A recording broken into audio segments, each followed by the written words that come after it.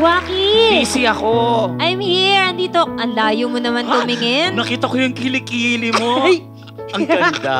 ang daming highway, di ba? Waki, sa tingin mo ba, posibleng ma-fall ka sa isang taong hindi mo nakikita? Ah, honest opinion, hindi.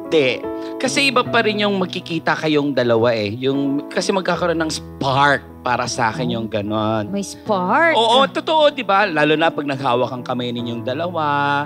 Ako hindi din. Gusto ko Bakit? rin talaga kasi yung nahahawakan ko. Di ba? Iba pa rin yung touch. Oo, iba pa rin talaga yung mga touch-touch. Yan.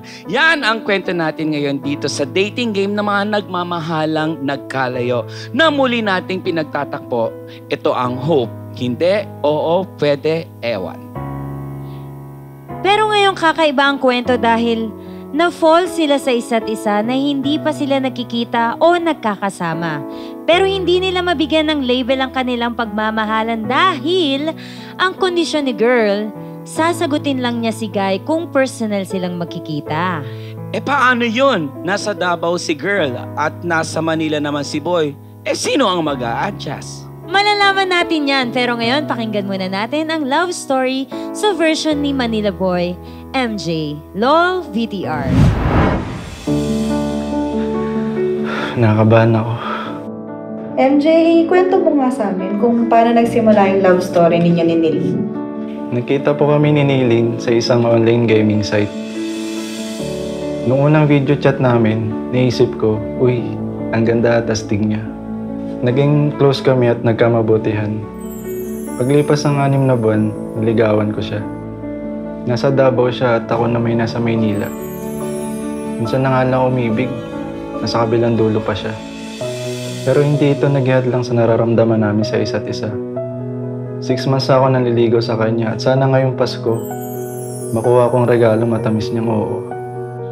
Sana magkita tayo bago matapos ang taon. Ikaw lang yung gusto ko makasama ngayong Pasko.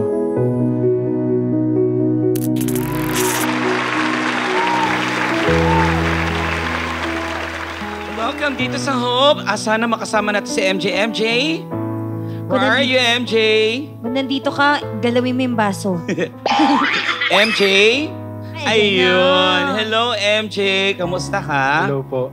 How are you? Okay lang naman po. Nasa Davao kasi si Nelene, kaya si MJ muna ang makakasama natin. Di ba MJ, kapag gaming, boses lang ang naririnig nyo habang Yes po. naglalaro, di ba? Yes po. Hindi mo pa siya nakikita, nagustuhan mo na siya? Or Actually, nag-video chat po kami. ano, video chat Apo. kayo? Uy, tapos, nung nag-video hindi chat, na laro yun, hindi na. Hindi na po. kwento, ano yung unang-unang bumukas sa iyong labi nung nakita mo siya? Napawaw po ako sa kanya kasi po, ah, ang ganda niya po eh. Tapos, ang astig niya po talaga tingnan po. Hindi ka ba nag-isip na gusto ko siyang puntahan sa Davao? Kasi LDR yung relationship Sa niyo. totoo lang po, napag-isipan ko na po, napuntahan ko po siya sa Davao.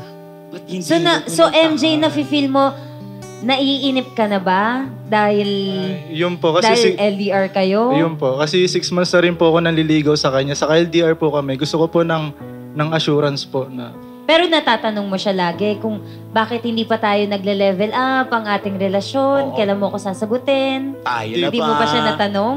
Nata actually natatanong ko po sa kanya, hindi pa po daw po siya ready.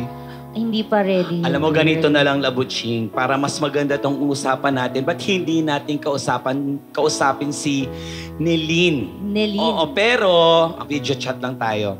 ah, video call. yan. Ganda yan. Tawagan natin si Nilin. Nilin? Tanungin natin pa kami. Ayun! Yan. Wow! Ang ganda ang naman, ganda Nilin. nga. Hi, Nilin. Si, Hi. Ang, Nelin, parang ayaw mo naman tumingin tingnan mo naman. naman siya. Kamustahin mo naman kahit video call lang. Hi, okay lang. Kamusta ka rin? Okay lang. Kamusta dyan sa Davao? Okay lang po. Umulan po dito. Oo nga, Napakaganda dyan sa Davao, no? Parang Oo. si Nelin lang. Eto na, hi- hindi mo pa daw nabibigyan ng label ang inyong relationship. Ano bang ano bang ano bang plano ninyo? Kasi po gusto ko po kasi sagutin siya eh, sa personal po kasi gusto ko pong makita yung totoong ugali niya. Ganyan po. Eh paano yan? Eh nasa Davao ka. So yun ang sinasabi niya. Kung mahal mo ang isang babae, gagawa ka ng paraan para puntahan siya. Mm. Sino mag adjust sa inyong dalawa? Nailina at MJ. Sino ang pupunta sa Davao o pupunta sa Manila? Napag-usapan nyo na ba yon? Opo, kasi po if mahal mo po yung tao, mag-e-effort ka po talaga. Ay, naw- Nelin. Naw- nawala Wait po. lang ah. Ano, tawagan Nawala. natin ulit si Nelin ah. Nung lumabas ang picture ni ano ay yung video ni ni Lynn, kinilig ka. Yes po. Bakit? Ang ganda niya nga. Maganda po oo. talaga. Nai-imagine mo na ba siya na makakasama mo, magiging asawa mo, mahahawakan mo, ganun? Yes po. Na-imagine ko po siya as, mas, as my future wife.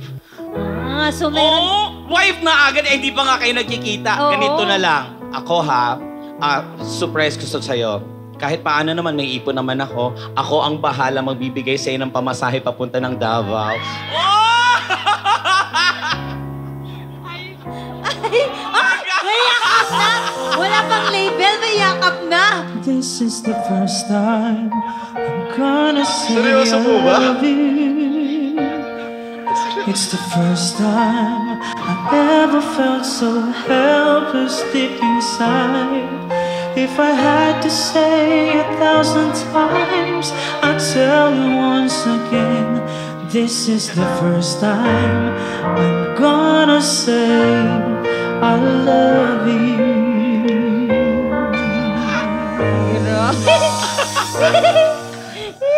Hala, hala. Speechless. Alam mo, ka magsalita. ayaw na, ayaw na tumigil bumukas bu- ng sara ng bibig ni ano, MJ. Oo, MJ.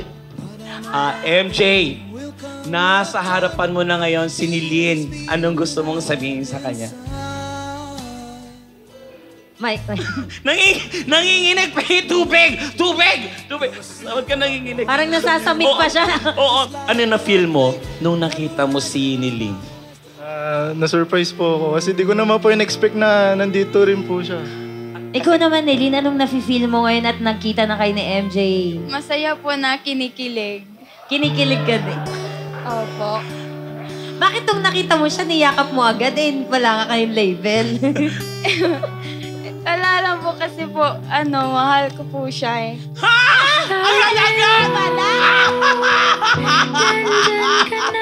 Wag mo! Ala, Alam mo, ang dami niya nang sorry, sorry, sorry, sorry. Ganito na lang muna. Oo. Ganito na lang. Basahin niyo muna yung mga letter niyo para sa isa't isa. Ang unang-unang magbabasa ay si MJ. MJ. MJ, basahin mo yung letter mo para kay Lilin. Dear Naylene, hello. Mas iba ng ngiti niya ngayon. Kamusta ka? Hindi ko alam ang sasabihin ko kundi masaya ako na kahit hindi tayo magkalapit, still hindi ito naging hadlang para may mafeel tayong love para sa isa't isa. Basta naramdaman ko na lang na sobrang importante mo para sa akin. Yung hindi kumpleto yung araw ko kapag di kita nakaka-chat o nakakausap through video call. Binuo mo araw ko. Pasensya na kung minsan nagtatanong ako sa'yo na kung sasagutin mo ba ako or hindi pa. Hindi sa pagmamadali pero gusto ko lang makasigurado kasi ako. Sa dami ng ewan ko sa buhay, sa'yo lang ako sigurado. Alam naman natin na madaming mas better sa akin, sa akin dyan, lalo na LDR tayo. Pero kahit malayo tayo sa isa't isa, pinaramdam ko pa rin sa'yo kung gaano kakahalaga. Mahal na mahal kita kahit malayo agwat natin sa isa't isa.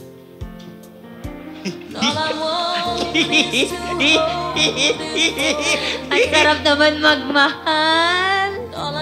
Ikaw naman ang magbabasa ng letter mo para kay MJ. Si Nelin naman. Dear babe, hindi ko alam nararamdaman ko ngayon. Halo-halo ang emosyon, masaya, excited at kinikilig. Andyan ka na sa aking harapan, nahahawakan, totoo ka nga. Hindi mo alam kung gaano ko kasabik makita ka. Kasi sa tagal ba natin na mag-MU at LDR, sana napasaya kita.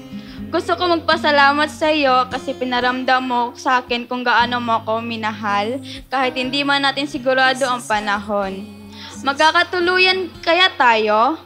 Kasi sa pelikula ko lang napapanood yung mga ganitong eksena. Naghihintay nga na nga lang ako may sumigaw ng cut para sa parang teleserye ang buhay ko kasama ka. Sa six months natin na mag-MU, nakita kung gaano ka ka-effort, kung gaano ako palaha, pahalagahan, kung panaginip man ito, please lang. Huwag mo kong kurutin kasi ayaw kong magising sa isang buhay nang wala ka. Ano, grabe. Alam mo, ito na ata yung pinaka nakakakilig na letter na narinig ko. Six No. months na LDR. Oo. At saka yung feeling talaga na nagkita sila. Totoo. Sobrang, ah, first time dito sa LOL. Ito na. Marami na rin siguro kayo mga tanong para sa isa't isa. Kaya naman, maaari nyo lamang sagutin ang mga katanungan ninyo para sa isa't isa ng hindi, oo, pwede, ewan, no explanations needed. Eto na ang seven questions of hope.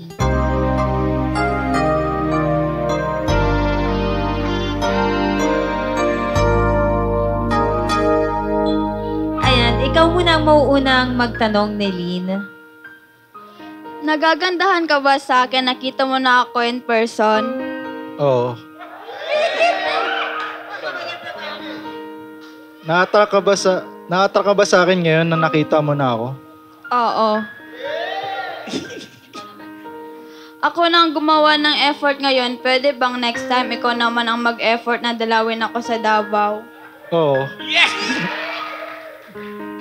Kung magiging tayo na at yayain kita dito sa Manila, tumira, papayag ka ba? Oo. Kung di ako lumipad dito, pupuntahan mo ba ako sa Davao? Oo. Mas prepare mo ba magka-boyfriend ng ma- mas malapit? Hindi. Kaya mo bang makipag-LDR sa akin? Oo.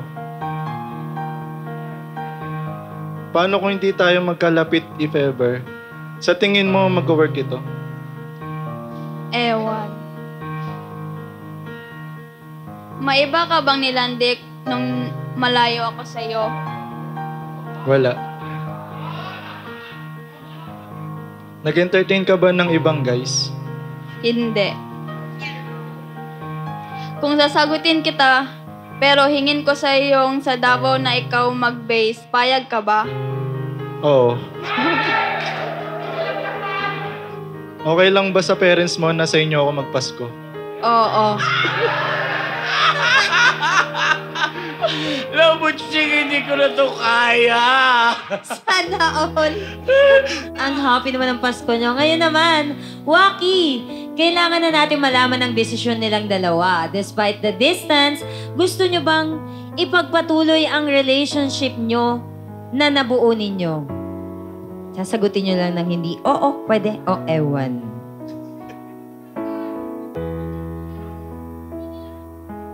Uulitin namin. Despite the distance, gusto nyo bang maging official ang relationship ninyo?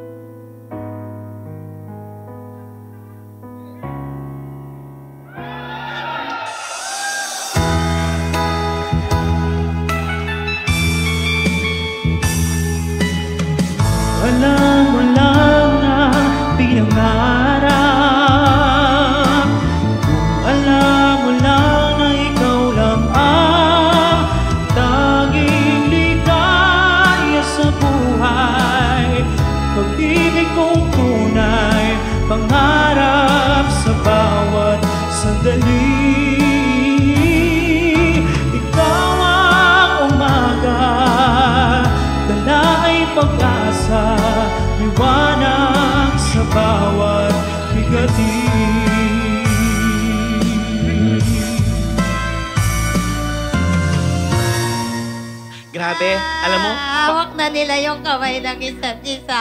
at saka parang ayaw na nilang ano, matanggal. Ayaw na talaga magbitiw. Eh, oh. Ito na, ito yung first holding hands nila. Oo. Eto na ang chance mo sabihin sa kanya yung gusto mong sabihin ng iyong puso. Will you be my girlfriend? Oo. Official Waki!